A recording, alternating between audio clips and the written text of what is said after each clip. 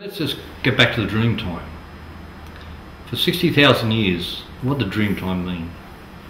It meant they could sit around at night around the fire and through the dream time, their spirit could communicate to the spirit of the animals, the spirit of the trees.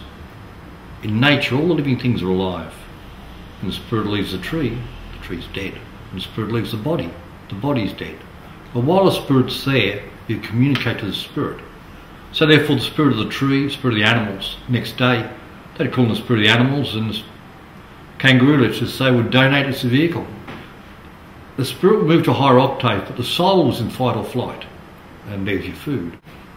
In nature, everything is alive. Water, the trees, everything in nature. This is how communication came. It was telepathy. Till down the track, men learned to talk. When man, when man learned to talk, he started to lose the ability of the telepathy. But just like today, you go back in the past, and the ancient Aborigines could levitate off the ground. He could run 100 miles in a day without touching the ground, as his feet would hardly touch the ground at all, as he'd levitate by making his body lighter. Today, we've lost that ability. We're even losing the ability to walk great distances because we now use a vehicle. The more we go into this physical molecular world of reality, the less we get away from. The more we get away from, the less we get the ability to use the natural functions of nature. You look at the Bach flower remedies. You look at a lot of nature remedies. And where they come from originally. Everything in nature is there.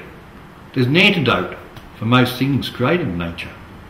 The old Aborigines of the past, even today, Many of them still have secret medicine, but they don't share it. The comment I hear from so many of them is, why tell them they don't listen? Because we live in a society that really has failed to listen to other cultures because it thinks it knows all the answers. In our Western society, we've got to look at our world. You look at where our world is today and what is the results in our world today by going to this external world of reality and getting lost from the internal world of reality. We create this massive imbalance. And we have to get back to the balance of understanding the internal world as well as the external world. We go back to nature.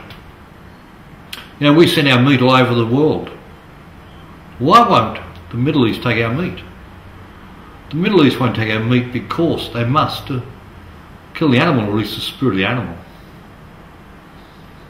When we kill the animal and we go through trauma, that soul has the trauma in it. And that soul can be passed down through the meat that we eat. We have to really get back to understanding nature and how nature really works to find the balance in ourselves for our own future. We go back and look at the trees. Do you realise every tree is alive? Do you realise you can communicate the spirit of a tree? You can communicate out of someone's body on the table? It sees everything. There are no more secrets. You'd be surprised what happens in nature and what's happening in nature. You go back to areas where we have dimensions of genocide.